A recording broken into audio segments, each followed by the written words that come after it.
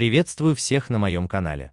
Вот и завершился второй этап Кубка мира по биатлону 2021-2022 в шведском Эстерсунде. И скажем честно, российские биатлонисты выступили на этом этапе просто ужасно. Всего одна бронзовая медаль в мужской эстафете за 10 пройденных гонок. Это позор для России. Наши биатлонисты потеряли скорость, а стрельба вообще никакая. Если мы проигрываем в скорости, то надо хотя бы научиться стрелять, чего пока мы еще не достигли.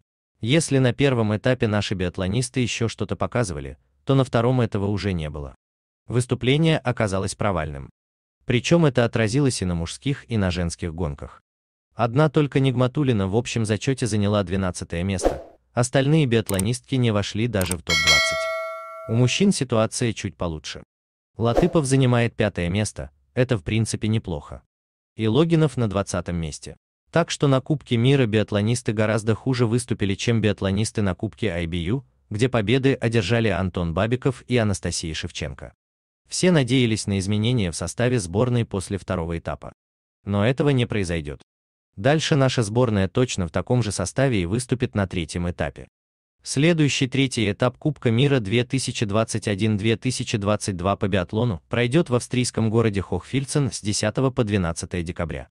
Уже совсем скоро мы снова будем лицезреть гонки наших любимых спортсменов. Может, там они себя покажут уже подготовленными.